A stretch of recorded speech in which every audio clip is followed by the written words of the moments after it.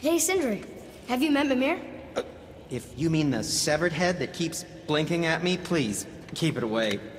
There is no possible way that's hygienic. Oh, that's nice. Lovely to see you too, Sindri. Nob.